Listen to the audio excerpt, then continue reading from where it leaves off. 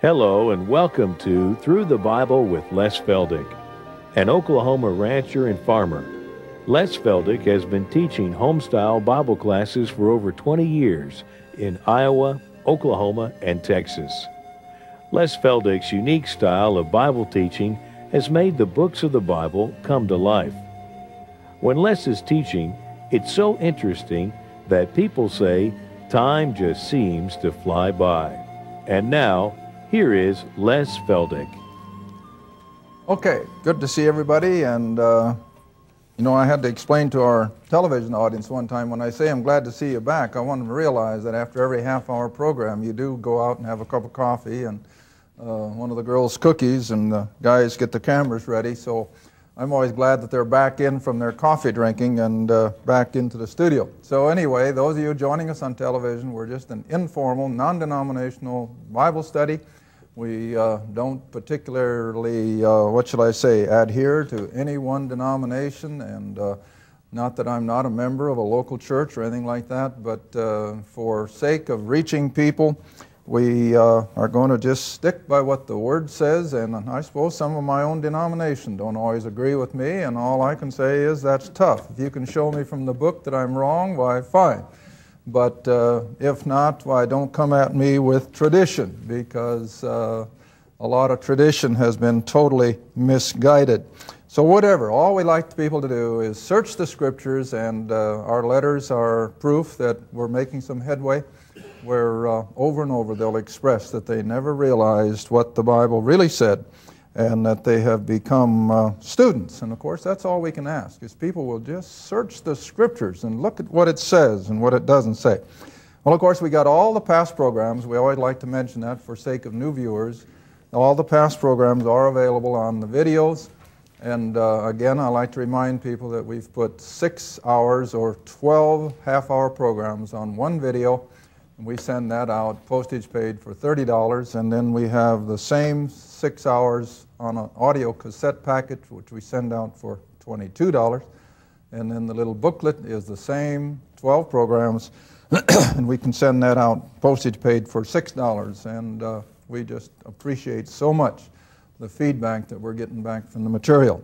Okay, I think that's enough for that. And again, we'll get back to where we just left off. I thought I'd finish the whole fourth chapter today, but we'll be lucky, I guess, to get five or six verses. Wasn't the way I intended it, but uh, once we get into these things, I, I, just can't skip over what I think uh, are little details that, that make it so interesting. All right, now verse 5 of Ephesians 4, we continue on with these seven things that make up a unity in the body of Christ the one body, one spirit, one hope. And now, verse 5, we have one Lord, one faith, one baptism. And again, we're going to take it one word at a time. One Lord. Now, you see, we're living in a world where the New Age movement is coming in, the Oriental religions are coming in. Uh, you know, it's almost a travesty that they can teach this Oriental stuff in our public school and nobody says a word.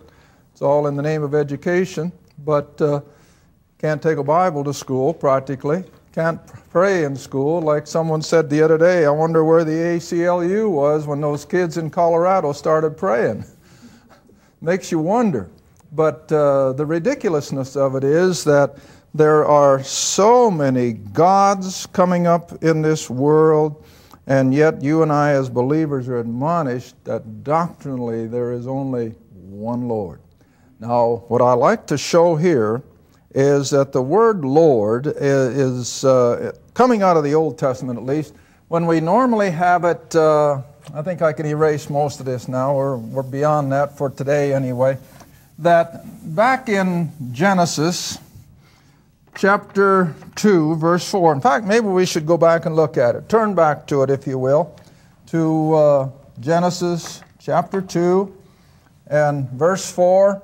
And back in the Old Testament, you have Lord used in two different ways. You have it used all capitalized, and then you also have it used with a small ORD with a capital L, of course. But back in Genesis chapter 4, did I say 2? Okay, I want chapter 4. No, I don't either. I want chapter 2, verse 4. Yeah, I want chapter 2, verse 4. I was right the first time. Here's a good example of what I'm talking about. Now, all the way, of course, through chapter 1, you've seen God. God said, and God did, and God was pleased. And now, all of a sudden, in chapter 2, verse 4, verse, the last part of the verse, in the day that the Lord God. See, now, if you'd been in the same format with chapter 1, it would have said, in the earth when they were created, in the day that God made the earth and heaven. Typographical error? No. No, it's exactly the way it's supposed to be. Here we now have the Lord God in capital L's, capital L O R D. And those of you who have heard me teach Genesis, and I think a lot of our programs now are back in Genesis again, it's from this capital L O R D that we really get the Old Testament term Jehovah. Whereas Lord in the small letters is Adonai in the Hebrew and it is translated over and over throughout the scripture as master, see? And that makes all the difference in the world. Same God. Same God. But see, Paul now is using the term Lord's, capital L, small o r d, and he is referring to the master part of our Savior and our Lord. Now, if you'll come back with me again to uh, Ephesians one Lord. And it's not all four capitalized, it's capital L, small O R D. And so, literally, I think we can take it right out of the Old Testament setting, setting that we have one master, one Lord. And of course, it's implied, we'll get to verse 6, where it is the same God and Father. But back up here in verse 5, we're looking at the small ORD factor, which is, again, he is our master. Now, the disciples, if I remember correctly, referred to the Lord more times as master than almost anything else, didn't he? And, and it was such an appropriate term because indeed that's what he is. And so when we come back to Paul's teaching of the Lord being our master, it means everything because we're his bond slaves, as it were. He is the benevolent master. He is never hard to serve. And so, consequently, we have a Lord that we can serve with all the, what shall I say, all the energy that is in our being because He is so benevolent toward us. And uh, I, I don't know how else to put it. And He is the only Lord that we serve. He doesn't have all these other aspects that the pagans had and so forth. So we have one Lord, one Master, one Creator God. But I'll come to that more in verse 6. All right, now the next part. One faith. Boy, now I could stay here all day, couldn't I? Stop and think of the world in general. How many faiths are there? Yeah, you're already cringing. Well, we couldn't begin to count the number of what they call various faiths, even within Christendom. Now, I always have to qualify. When I use the word Christendom, I'm not talking about the body of Christ. When I use the word Christendom, I'm talking about anybody and everybody that uses the New Testament to some degree or other for the basis of what they practice. So, within the realm of Christendom, how many faiths? Oh my goodness, you know, even amongst Protestantism, most people will think of, well, I belong to the Methodist faith, I belong to the Baptist faith, or I belong to the Methodist faith, and so on and so forth. And they've broken it all down to these various faiths, plural. But what does the scripture say? There's only one. There's only one faith. And we are to stand for it. Now turn back with me to Jude. Now, we're not to be adversarial just for the sake of being argumentative or anything like that. But on the other hand, we are to never compromise our faith, which we trust is the one faith that Paul is talking about. The little book of Jude, dropping down to verse 3. Jude, it's only one chapter, so verse 3. And Jude writes, Beloved, when I gave all diligence to write unto you of the common salvation, it was needful for me to write unto you and exhort you that you should earnestly contend for what? The faith. See? The faith. Not just your faith, but the faith. And what's the faith? Well, now let's just go back and, and look at some of the places that, that Paul uses it because I'm always stressing, you know, that Paul is the apostle of the Gentiles. He is basically the church age apostle. And so let's come back to his letter to the Romans in chapter 3. and he uses this verb or this word over and over throughout his letters faith.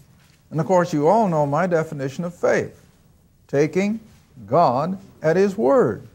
And it's never a bad uh, definition. Faith is always taking God at His word. God said it, I believe it. And God reckons that as our faith. And so there's only one of those. You can't just simply say, well, I look at it this way and he looks at it that way. No, there's only one faith. Like I said at the beginning of the first program, this book is narrow. This book is not something that you can just look at it from 15 different directions and say, well, we're all going to the same place. No way. All right, Romans 3. Oh, goodness. Let's start at verse 23. For all have sinned because of Adam and come short of the glory of God.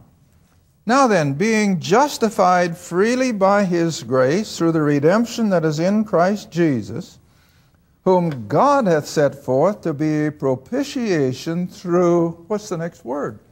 Faith. See? Through faith in his blood.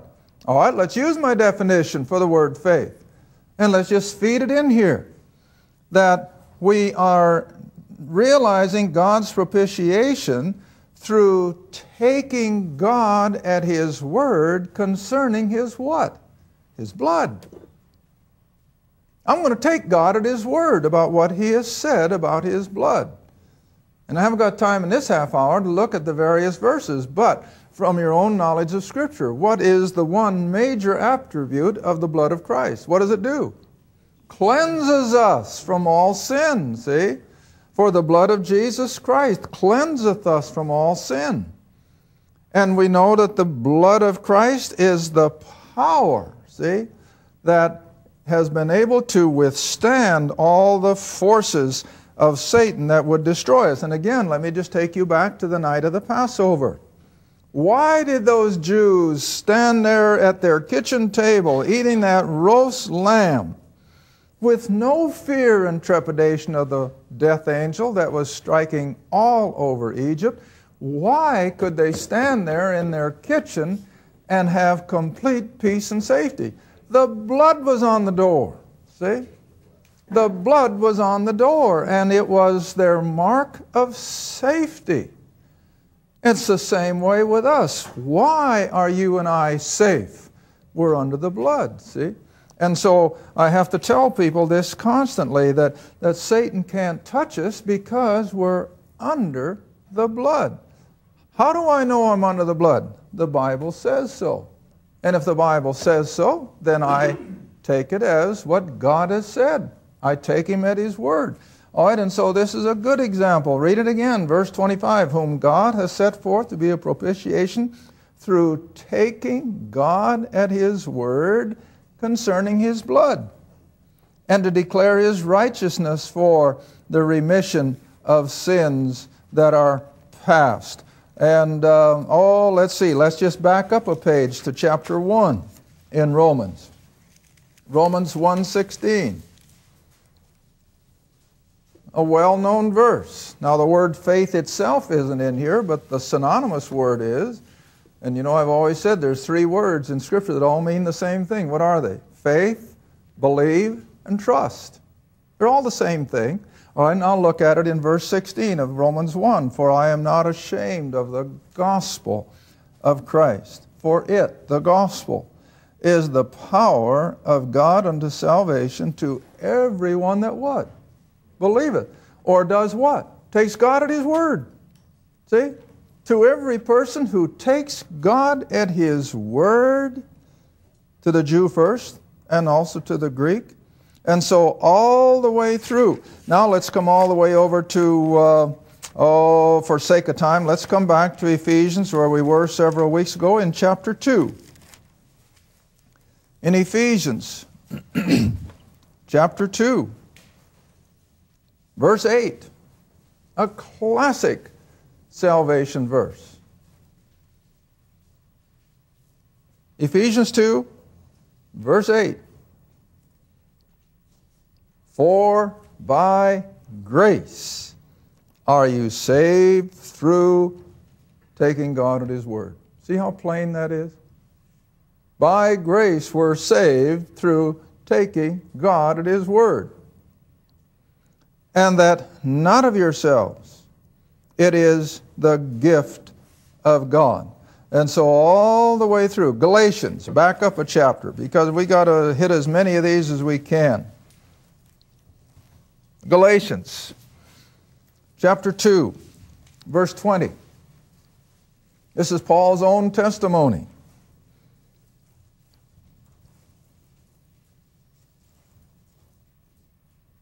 Galatians 2, verse 20.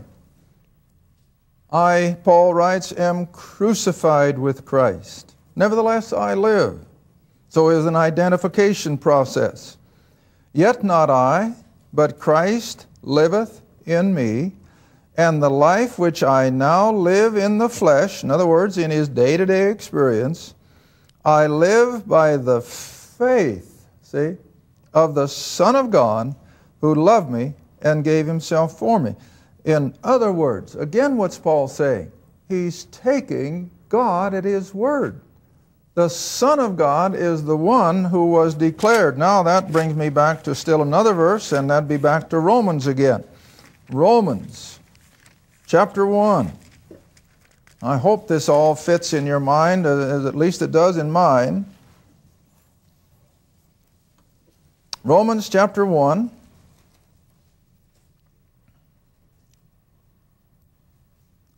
Beginning in verse 4. Romans 1, verse 4.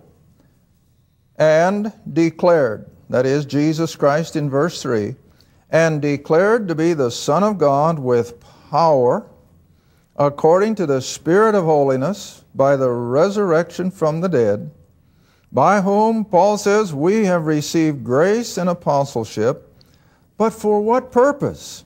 For the obedience to the what? To the faith, see, among all nations for his name. And again, what's he talking about? So that people would take God at His word. And what has the Word of God declared? That Christ died for our sins. He paid our sin penalty, but He arose from the dead. See? And this is all taken by faith. And there's only one. You can't put your faith in some other God. You can't put your faith in a denomination. You can't put your faith in some great, beautiful edifice. Our faith has to be completely centered on the one who went to the cross and rose from the dead. All right, now we got to go on to the next one in Ephesians chapter 4 and verse 5. And again, I hope that as I'm teaching these words one by one, you're getting the picture that out there in the world around us, instead of being one of any one of these, we've got many. Oh, we've got many so called bodies of Christ, and they know nothing of the gospel. We've got so many spirits that are working. We have so many various hopes that people are clinging to, and they're hopeless. We have so many gods, and not like the pagans exactly, but they had gods and goddesses both. And Paul says, uh uh, there's only one. Now, we've got all the various faiths. I hope you're getting the picture. Now, it's the same way with the next word, believe it or not one baptism. And oh, as I said on my program more than once over the years, there is probably no other one word in the Christian language that will set people's hair on end quicker than to disagree with them over baptism. And isn't it funny?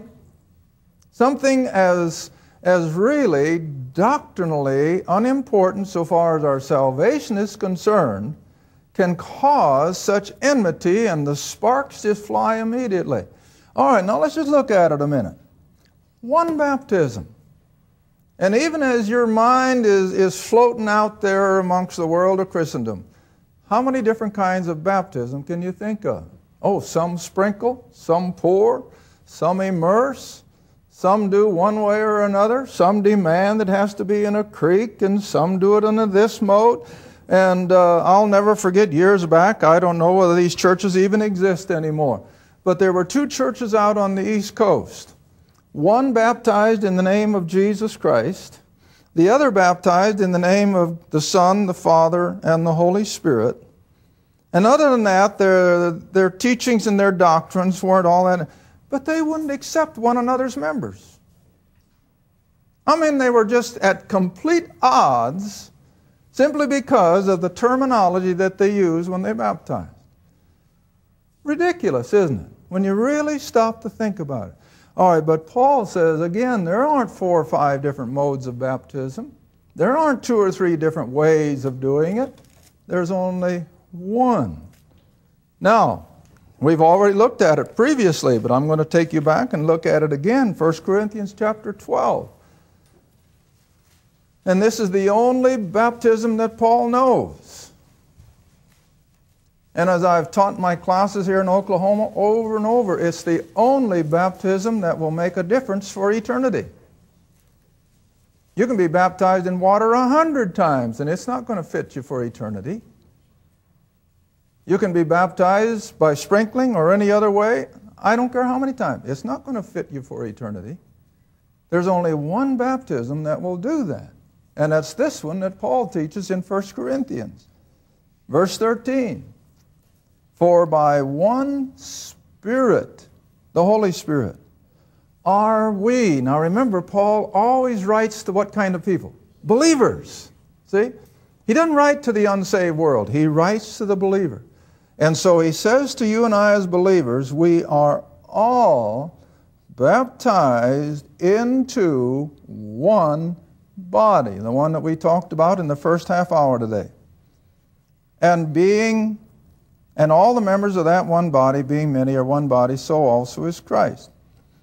Oh, I'm sorry, I was in verse 12. Now, verse 13. So, by one Holy Spirit are we all baptized in the one body, whether we be Jew or Gentile, bond or free. Doesn't make any difference, our status in life. There's only one baptism that counts for eternity. And that's the moment we believe the gospel, the Holy Spirit in His invisible, all powerful modus operandi placed the believer into the body of Christ. That's the one baptism that Paul talks about in Ephesians. He never mentions water baptism in this book because, you see, we made that jump up and we're coming from even his earlier revelations to these later ones as we had it on the board earlier. And so now he can define the fact that there is only one baptism that counts for eternity. Now, I'm not putting down what denominations may demand for church membership. That's up to them. I don't care what they demand for their church business. That's not my prerogative. My prerogative is to show what is the Bible talking about. And it is talking about that the moment we were saved, we were placed into the body of Christ. And as I've said over and over over the years we've been on television, there are no unbelievers in the body of Christ. Not a one. Because, see, the Holy Spirit never goofs. You and I can miss. I can remember back in my earlier days when I was in a congregation that uh, interviewed their candidates for baptism. Interviewed them. Can you imagine? And if we didn't think that they had a real salvation experience, it was our prerogative to forbid baptism. Not that it ever happened, but that was our prerogative. Now I look back at it and I think, how in the world could I do something like that? I can't look on the heart. I can't tell if someone is genuinely saved, and neither can any other group of men in whatever denomination. And so, this is the reason that local churches, again, I don't care what denomination, they have unbelievers baptized and in their membership.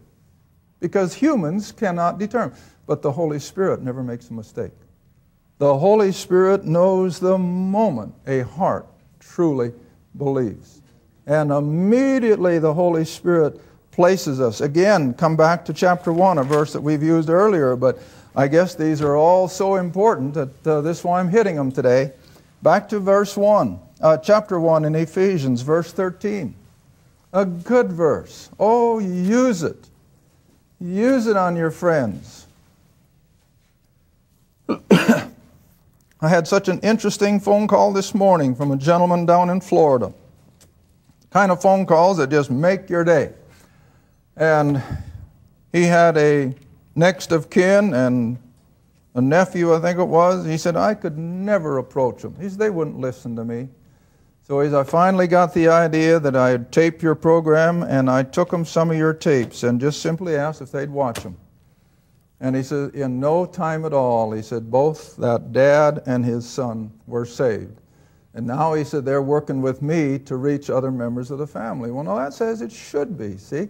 Now, that's what I'm talking about. That when you get that kind of a salvation experience and being able to pass it on to others. Oh, I only got 30 seconds left. Okay, verse 13, quickly. And after you heard the word of truth, the gospel of your salvation, in whom also after you believed, you were sealed. How? By that Holy Spirit of promise. And what was the sealing? Placing us into the body of Christ, becoming indwelt by the Holy Spirit, who became God's brand on us that we belong to Him. Thank you for watching Through the Bible with Les Feldick, a weekly Bible study. If you would like more information about the Les Feldick Ministries, a Bible study in your area, or about this program, write to Les Feldick Ministries, Route 1, Box 760, Kinta, Oklahoma 74552. That's Route 1, Box 760, Kinta, Oklahoma 74552. Through the Bible with Les Feldick is viewer supported, and your gift is appreciated. Thank you and be sure to tune in next time for Through the Bible with Les Feldick.